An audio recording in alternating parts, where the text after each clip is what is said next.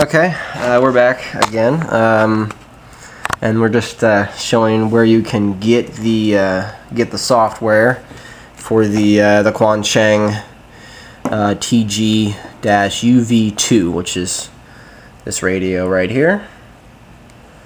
And um, what you want to do is go to, if I can show you the URL here, go to uh,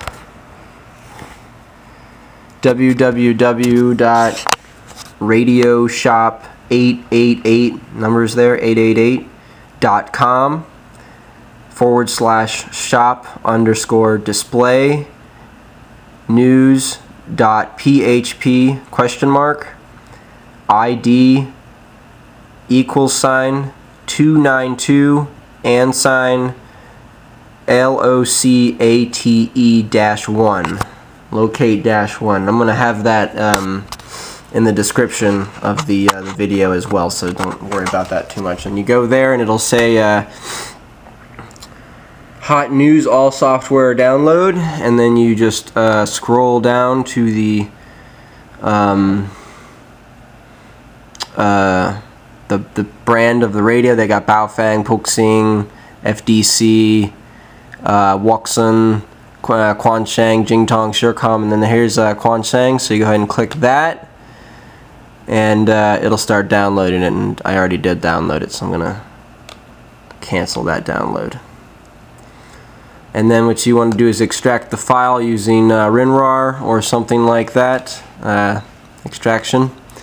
Put it in uh, a folder, new folder. And I, I have mine uh, called radio programming. Um, all my radio programming stuff's in there.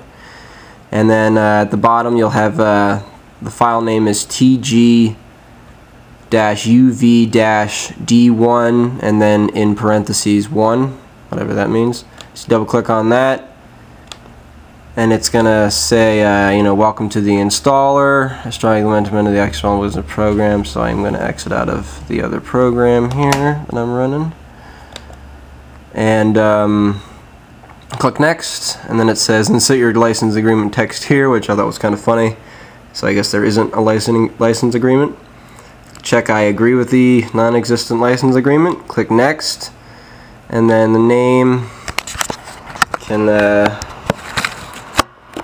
wait that one second there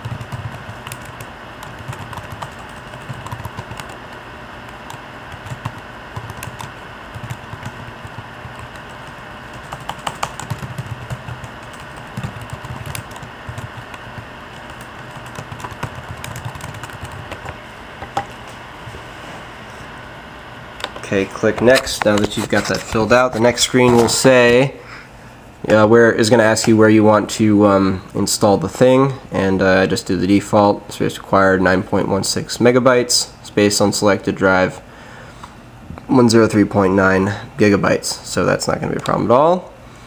Um, I'm going to go ahead and make shortcuts available to all users.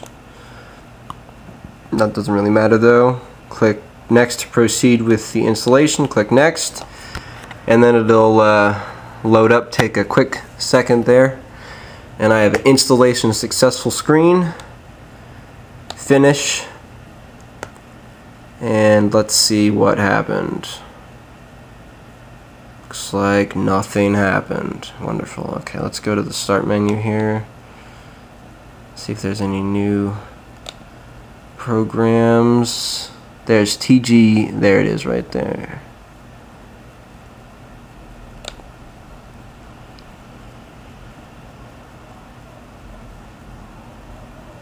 Okay, and I believe this is the software. We'll find out soon enough.